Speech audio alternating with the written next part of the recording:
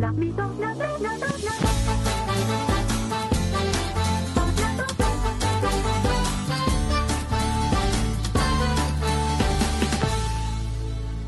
Tutberidze's show Champions on Ice will be held in Samara today. The beginning is 1800 hours Moscow time.